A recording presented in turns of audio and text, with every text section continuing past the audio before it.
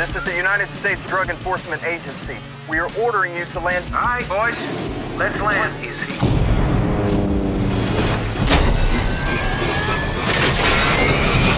My name's Barry Seal. That's for the damage. For your sister, hey, little darling, and your back. And some of this really happened. You never saw me. Your class in the Civil Air Patrol. A pilot like you shouldn't be flying buses. Welcome to Miami. Welcome to Bakersfield. Haven't you ever wanted something more, Barry? You should be serving your country. You're CIA.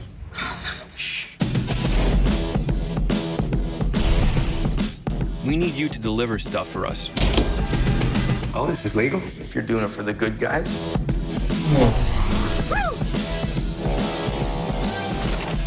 Barry Seal's is a goddamn genius. You are an airline pilot, Barry. That's how you support this family.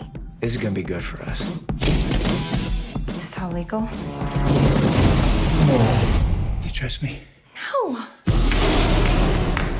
We're expanding operations, Barry. The devil you know, the devil you know, the devil you don't.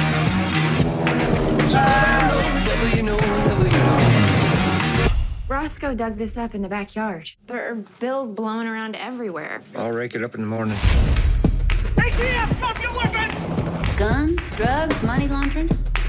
Did y'all know that caddies have more trunk space than any other car? I'll get each and every one of you a caddy for your troubles. See, I'm gonna walk out of here. there ain't a damn thing any one of you can do about it. He's free to go. Wait, wait a minute. Boy should have taken the caddies.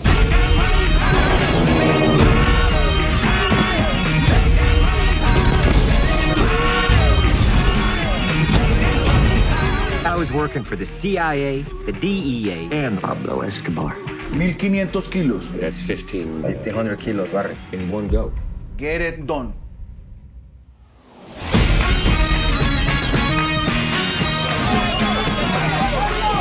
¡Sube, gringos!